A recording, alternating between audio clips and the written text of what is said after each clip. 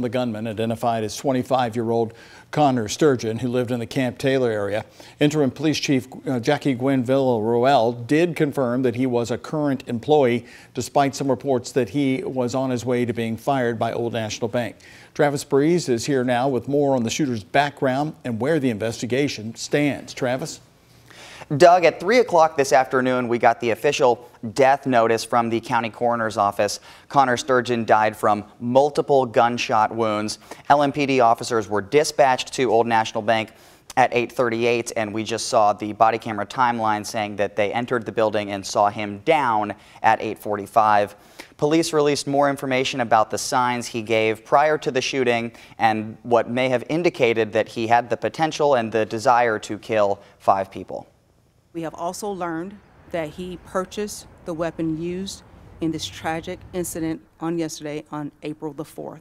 He purchased the weapon legally from one of the local dealerships here in Louisville. The headline Tuesday 25 year old Connor Sturgeon legally purchased an AR 15 at one of the gun stores here in Louisville six days before walking into Old National Bank and killing five coworkers. During a press conference Tuesday, police confirmed they did obtain evidence while searching his house, but would not go into specifics. We have executed a search warrant uh, on his residence and we have recovered items and we cannot get into specific details on what we recover at this time because, again, the investigation is ongoing. The district court office still does not have a public search warrant to share with WHAS. The scene at Sturgeon's house was calm Tuesday, with neighbors telling us no one had gone in or out since the sweep on Monday. New Albany Floyd County Schools confirming that Connor Sturgeon was a 2016 graduate of Floyd Central High School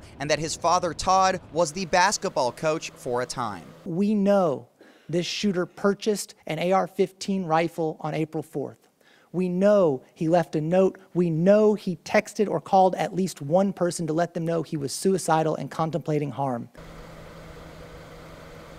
Mr. Sturgeon being an employee at the bank, there is some level of tie between the two parties, but we're still waiting for a clear motive to be given by law enforcement. Also waiting to see if the county coroner or the state medical examiner have any additional information to release in this case. Doug?